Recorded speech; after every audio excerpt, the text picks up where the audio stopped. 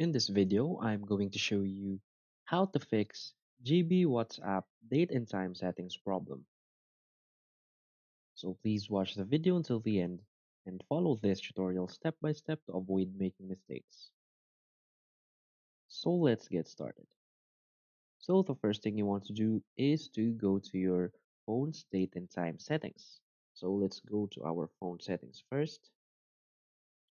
Now let's find the general management settings to change our date and time settings. From here, let's just tap on date and time. And from here, you want to make sure that the automatic date and time setting is enabled.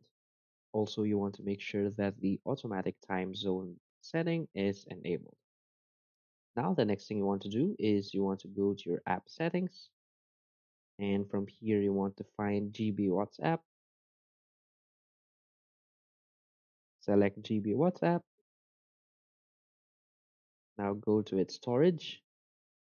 And from here, you want to clear its cache and also clear its data. After that, you want to open GB WhatsApp and your problem is solved. So that's it. So if you find this video helpful, please hit like and subscribe. Thanks.